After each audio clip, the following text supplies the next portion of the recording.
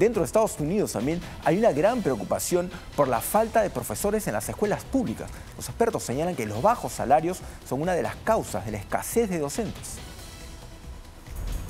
De acuerdo con cifras oficiales de Florida, existen 4.776 puestos vacantes de maestros al comenzar este año escolar, Pese al elevado número, resulta que es menor al comparativo del periodo anterior, 5.208 educadores. Las autoridades del Estado afirman que se integrarán profesores de otras áreas y distritos para suplir esta deficiencia. Ha sido una de las principales prioridades del gobernador, la legislatura de Florida y el Departamento de Educación, reclutar maestros de alta calidad para llenar nuestras aulas en el distrito escolar de Miami-Dade, el número 4 en toda la nación por la cantidad de estudiantes, las autoridades buscan suplir el déficit.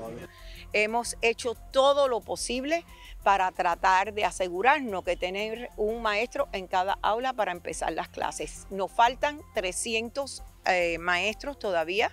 Estamos en el proceso de seguir trayendo a personas, pero en cada aula va a haber un maestro para el primer día de clases. Es decir, se distribuirán profesores asignados a otras actividades para impartir clases donde haga falta. A largo plazo, el distrito de Miami-Dade prevé preparar a futuros maestros en más de 50 escuelas secundarias del sur de Florida. Vamos a tener academias para que los estudiantes aprendan acerca de educación, tal vez convertirse en maestros la falta de maestros, según las autoridades, se debe a los bajos salarios de los educadores a nivel nacional. José Pernalete, Voz de América, Miami. Los bajos salarios, como este, bueno, reclaman muchos docentes, este es un problema que ya está enfrentando Estados Unidos desde hace un tiempo y poco a poco se está haciendo cada vez más grave. Un, docente en Estados Unidos tiene un salario que, promedia entre los 13 y los 18 dólares de, por hora, dependiendo de la antigüedad que tenga. Si tiene poca antigüedad, o sea, si tiene un año de experiencia, va a ganar menos que un docente que tenga mayor cantidad de experiencia. Y también varía dependiendo de los estados. Hay estados que pagan mejor a sus profesores que otros. Sin embargo, más del 60% de los profesores eh, de, de los colegios en Estados Unidos considera que su sueldo es muy bajo. Siempre ha habido este tema, además depende mucho de los distritos, ¿no? Hay distritos que le pagan mejor al profesor, eh, porque son mejores escuelas, incluso la gente como le corresponde la escuela de la zona en la que vive, compra la casa, alquila la casa alrededor de estas escuelas ideales. Además, hoy en día en Estados Unidos se empieza a voltear la figura y mucha gente empieza a buscar a la escuela privada donde también están yendo muchos profesores porque encuentran mejores condiciones laborales y más sueldo.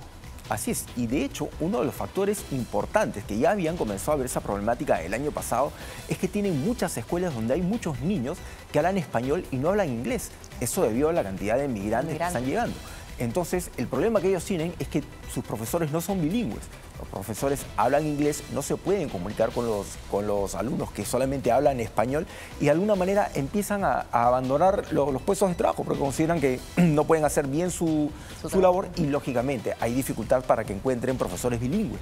Y si lo traemos a nuestro país, aquí también hay una brecha de maestros en las escuelas públicas. Cuando uno mira la escuela pública, la urbana probablemente esté mejor cuando hablamos de docentes, pero cuando vamos a mirar a la escuela rural, algunas aulas están prácticamente vacías, los profesores son multigrado, enseñan a distintas aulas, Así es. todos los cursos. Se vuelve muy, muy difícil la enseñanza en zonas rurales de nuestro país también. Así es. Hace un tiempo tuve la oportunidad de conversar con un, profesor en Caballococha, en, en, el oriente peruano, y me contaba que él, era docente para varios caseríos y se la pasaba viajando. O sea, cada uno de esos niñitos recibía una clase a la semana. Imagínate. Porque era un solo profesor y tenía alumnos de entre los 6 años y los 13 años, algunos 14 años, y a todos les tenía que enseñar el mismo salón.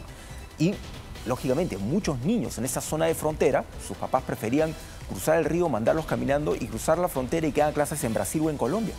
Se vuelve una realidad cómo atraer al maestro, perdón, primero a las personas a que estudien la carrera docente.